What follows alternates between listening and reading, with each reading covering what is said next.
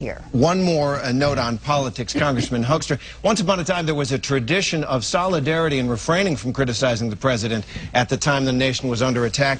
Three days after uh, this attempt to kill 300 people over the skies of Detroit, you sent out a fundraising letter, and I'd, I'd like to read portion of it so our audience gets the full flavor of it.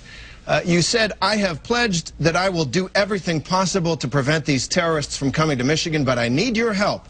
If you agree that we need a governor who will stand up to the Obama-Pelosi efforts to weaken our security, please make a most generous contribution of $25, $50, $100, or even $250 to my campaign.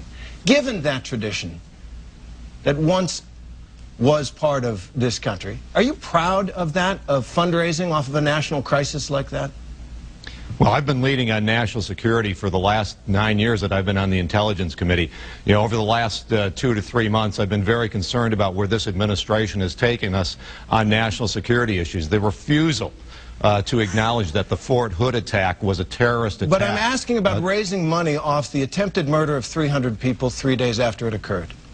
I, I, am proud of the role that I have played in making sure that America is safe. And I've, raising money. Know, I've been right on the facts all along on this, uh, on the recent attacks, the connections with Yemen.